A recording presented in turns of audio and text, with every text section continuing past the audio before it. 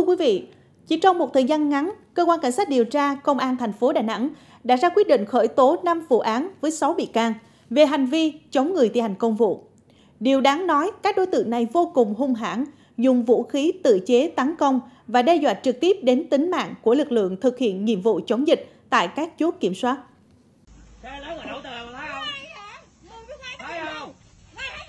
Lăng mạ, chửi bới, thậm chí tấn công tổ công tác. Một số vụ việc nổi lên tại Đà Nẵng thời gian qua khiến nhiều người dân thành phố vô cùng bức xúc, phẫn nộ. Ông Lê Bá Dụng, thành viên chốt kiểm dịch tại thôn Cẩm Nam, xã Hoài Châu, huyện Hòa Vang, là người trực tiếp bị đối tượng Hồ Đắc Thi, 40 tuổi, trú tại địa phương dùng dao tấn công, khiến ông bị thương. Vụ việc xảy ra vào đêm ngày 14 tháng 9 sau khi đối tượng Thi nài nỉ để được thông chốt nhưng bất thành. Bản thân tôi là người trực tiếp ra đứng làm nhiệm vụ của chốt mà bị các ờ, đối tượng rất hung hãn và làm bị thương như thế này. Mong sao là ngành ờ, chức năng có biện pháp mạnh răn đe và lại có một cái ờ, định hướng rõ ràng để cho chúng tôi được yên tâm. Lực lượng đã nhanh chóng dùng gậy để tước cái vũ khí của nó à, của đối tượng nên nó cũng khống chế đối tượng à, đó là cũng là một cái rất tốt trong cái lực lượng ý thức phòng chống cái, cái đối với cái hành vi mà gây rối hoặc là chống đối với người thành công vụ mà chúng ta cũng thường xuyên à, tuyên truyền cho người dân và cũng như là à, lực lượng là nhiệm vụ để biết cái, cái hành vi này và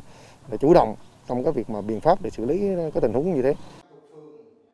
Mới đây, cơ quan cảnh sát điều tra công an thành phố Đà Nẵng đã ra quyết định khởi tố vụ án, khởi tố bị can đối với Nguyễn Bình Hưng, 26 tuổi, trú khu đô thị Ecocham, phường Hòa Hiệp Nam, quận Liên Chiểu, cũng về hành vi chống người thi hành công vụ. Trước đó, khi tổ công tác đang làm nhiệm vụ, thì Hưng bất ngờ từ trong nhà cầm cuốc chạy ra, la lối, đe dọa và dùng hung khí đuổi đánh. Trước sự nguy hiểm, manh động của các đối tượng này, Công an thành phố đã nhanh chóng vào cuộc điều tra để sớm đưa vụ việc ra xét xử công khai. À, trong quá trình tác nghiệp thì các lực lượng làm nhiệm vụ đã giải thích và về cái việc lý do người ta ra đường không chính đáng không phù hợp không đúng yêu cầu tuy nhiên là đa số người ta chấp hành nhưng một số đối tượng quá khích như tôi nói ở đây đã có những hành vi cản trở chung không khí tấn công cái lực lượng thi hành vụ. Chúng tôi à, đã phối hợp chặt chẽ với lại viện kiểm sát tòa án